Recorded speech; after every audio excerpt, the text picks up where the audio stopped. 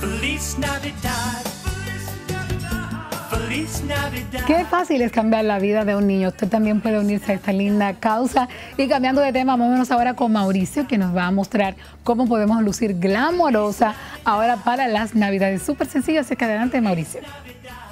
Gracias Jackie por tu invitación. En el programa de hoy vamos a manejar ciertos tips que una mujer necesita antes de tener una fiesta de Navidad. En el caso de hoy tenemos a Eliana, quien nos va a servir como modelo y ella precisamente tiene una fiesta el día, para el día siguiente y ella va a manejar lo que es el tema del smoking eyes o maquillaje ahumado que para ustedes muchas veces no es muy fácil llevarlo eh, cuando lo llevan a realización de sí mismas. Por lo tanto, vamos a dar ciertos tips y eso es lo que presentaremos en estos momentos. Lo primero que vamos a hacer es destaparle bien su rostro para que nos sea más fácil mostrarle al público qué es lo que vamos a manejar a continuación. Este, esto va de acuerdo a la forma del ojo. En el caso de Liana, vemos que su ojo es totalmente rasgado, entonces vamos a partir de ahí como plano con la primera base, que es delinearlo con una cremita negra o un betún para maquillaje que nosotros utilizamos alrededor del ojo. Y después de ahí vamos a difuminarlo. Una vez ya tenemos la línea marcada, vamos a empezar a trabajar las sombras.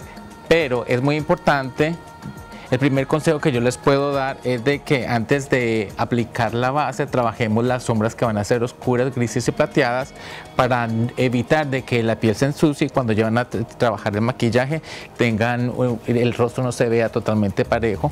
La piel como lo podemos estar viendo en el, en- el lado, en el lado que ya está totalmente terminado.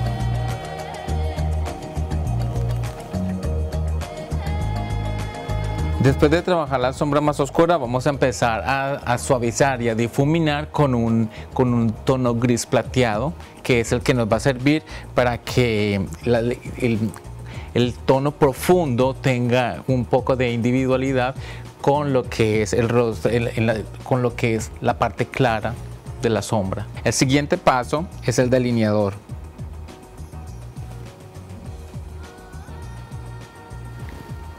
Como Eliana está manejando tonos un poco cálidos, como la base del cabello y el color de sus ojos, entonces de esa manera también vamos a trabajar el color de las cejas con un café oscuro.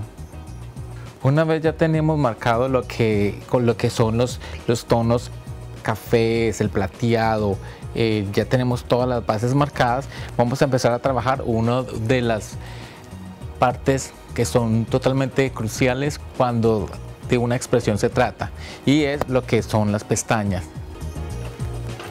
Antes de aplicar la base la tenemos que aumentar y darle una sensación un poco suave para que la base pueda resbalar y pueda totalmente mezclar con todo el pH de la piel y después de que ya tenemos el primer aplicamos la base.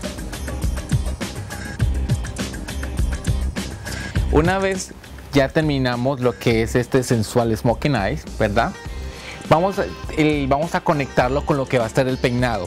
Pero antes vamos a pasarla con Jackie y de ahí ya vamos a terminar y vamos a hacer la presentación final, unos sensuales smoking eyes con un espectacular peinado de noche.